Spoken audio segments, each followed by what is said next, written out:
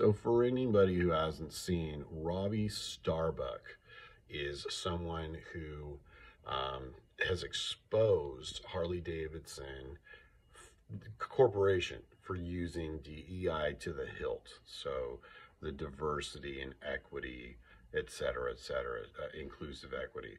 It's basically reverse racism to fit all these different types of people into one category.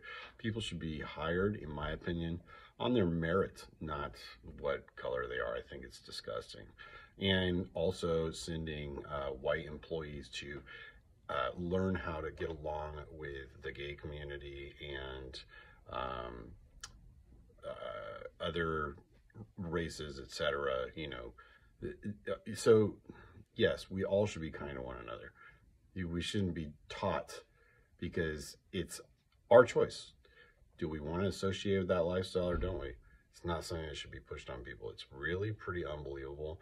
So definitely, if you're on X, which I've been on for like a week. I, I really don't do social media, but it's election year and it's getting crazy and the news is not telling us everything. You're going to see a lot more on X, trust me.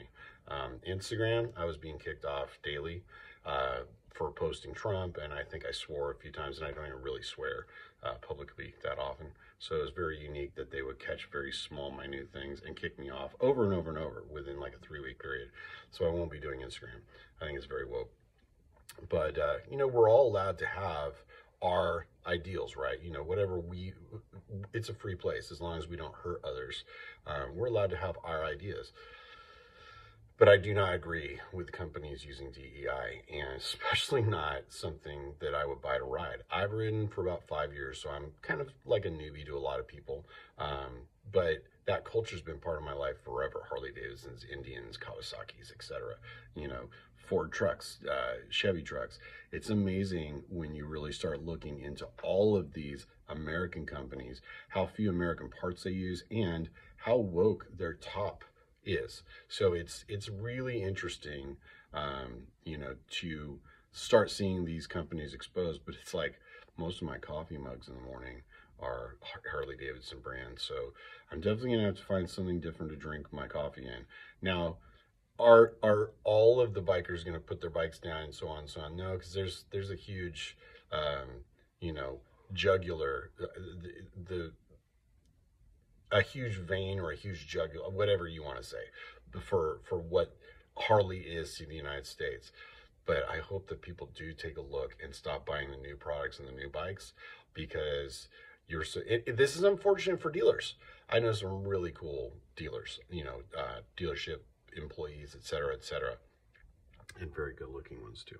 Um, but it, it is unfortunate for the dealerships. But regardless, we can't have this in this country. This has got to end. And it's coming from late 20s, early 30s employees that, you know, have gone through these colleges teaching them DEI is good and they implement it. And they think that it's something that's going to save the world.